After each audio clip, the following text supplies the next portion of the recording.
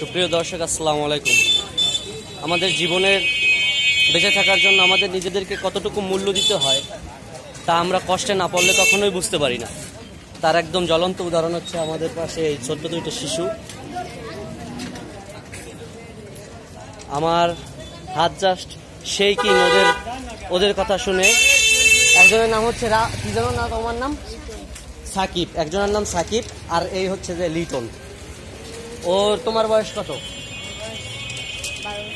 ওর বয়স মাত্র বারো বছর এবং সে অলরেডি একটা কারখানায় চাকরি করতেছে মোর দ্যান এইট আওয়ার্স এবং এর পাশাপাশি সে তার ফ্যামিলিকে সাপোর্ট দিচ্ছে এবং পাশে আছে আমাদের, তোমার নাম কি?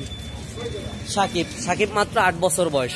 কিন্তু এই করুণ পরিস্থিতিতে এখনই তার কাঁধে তুলে নিতে হচ্ছে আমাদের একজন প্রতিষ্ঠিত মানুষের মতন একটা বোঝা। কিন্তু জীবনের মাপকাঠি যে কতটাই প্রসার এবং আমাদের জীবনটা যে কতটাই কষ্টময়, বেদনাদায়ক, তা আমরা শুধু এই দুইটি ছোট্ট শিশুকে দেখেই বলতে পারতেছি। তো আমরা বলব যে আমাদের এরকম ফুটন্ত ফুলগুলো যেন আর কখনোই নষ্ট না হয়। আমরা সেজন্য সচেষ্ট থাকব এবং আমাদের আশেপাশে যত ধরনের শিশু আছে, তাদেরকে আমরা চেষ্টা করব যেন শিশু শ্রম থেকে মুক্ত রাখতে পারি। এবং তাদেরকে একটা যদি পড়ালেখার, আমি তাকে জিজ্ঞেস করছি, তুমি কি পড়ালেখা করতে চাও?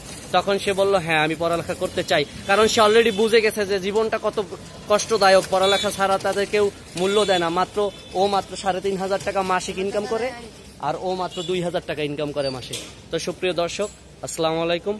এভাবেই আরও বিভিন্ন ধরনের গল্প আমাদের সমাজের চারিপাশে ছড়িয়ে ছিটিয়ে আছে। সেই জন্য আমরা সচেষ্ট থাকব এবং আমরা সতর্ক থাকব যেন এই ফুটন্ত ফুলগুলোকে আমরা আর ঝরে দিতে না পারি। আর ঝরে